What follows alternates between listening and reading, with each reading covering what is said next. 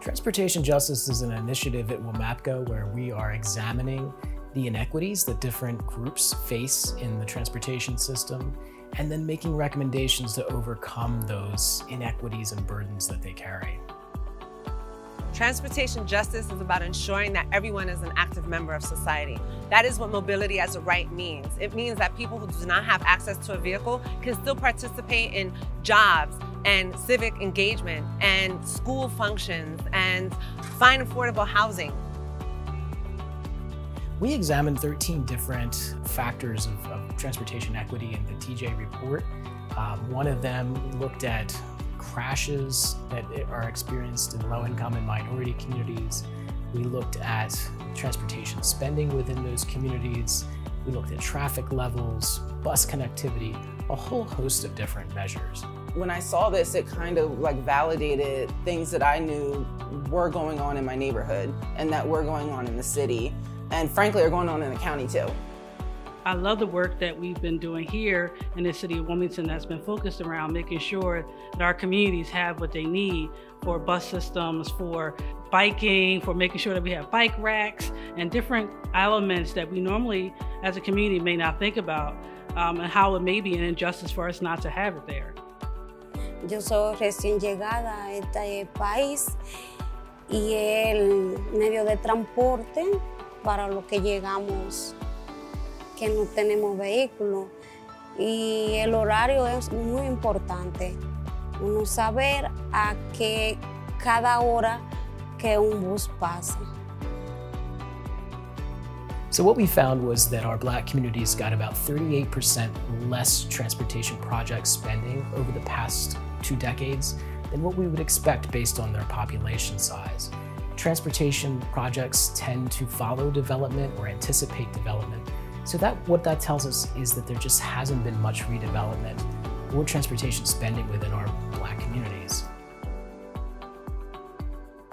We did a public opinion survey in, in 2018 that found that for families making under $25,000 a year, almost half, 47%, had some difficulty getting to activities day to day, whether that's their job or the grocery store or to a park.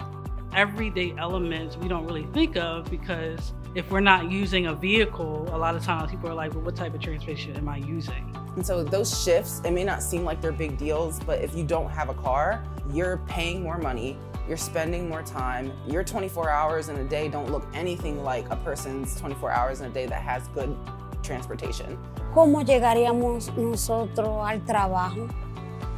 Sería, es muy difícil, muy difícil.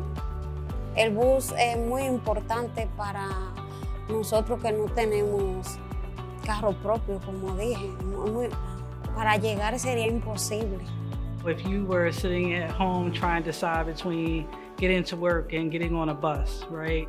And how much that's going to cost you on a weekly basis in order to get to your job. Is that going to take more out of your paycheck to actually get to that job than actually putting food on my table?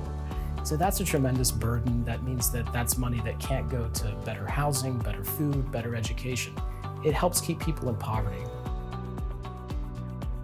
So one of our, our, main objectives with transportation justice is to identify the burdens that low income and minority groups carry, to make recommendations to overcome those burdens, and then to realize those recommendations.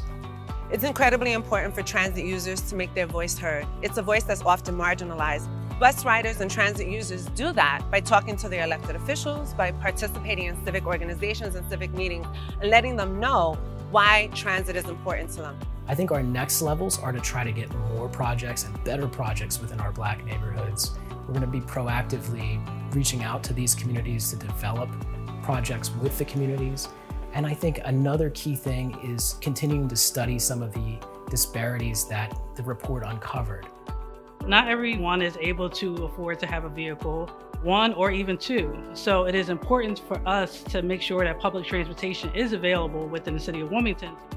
We are eager to improve your life and transportation conditions in your community. So reach out and get involved. For more information and to get involved, go to wilmapco.org.